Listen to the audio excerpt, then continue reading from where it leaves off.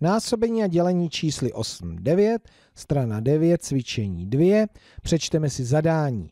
V řadě čísel vybarvěte požadovaná čísla žlutě.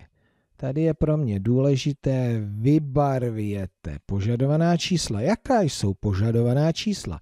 Čísla, která jsou násobky čísla 8. Tak jak já to budu řešit?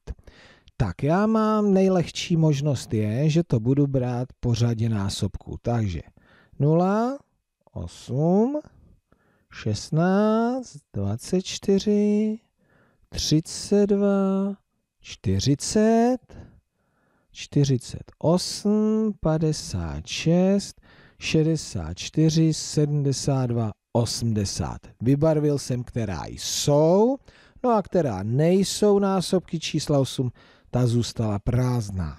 Tak a nebo čísla, která jsou násobky čísla 9, nevemu to pořadě, ale já si přesně pamatuji násobky čísla 9 a vybavím si je i hned. Takže 18 je, 19 také, 0 také, 72 to je 8 krát 64. Ne, ne, to patří mezi násobky 8, ne 9, ale 63 to je 7, 54 6, 45 taky tam patří, 23 taky, 36 taky, 81 také 90. Tak, tohle by tam patřilo, tohle tam nepatří.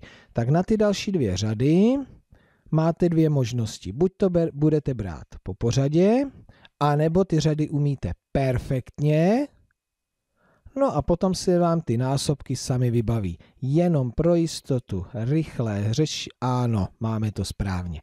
Tak, přeju vám hodně štěstí.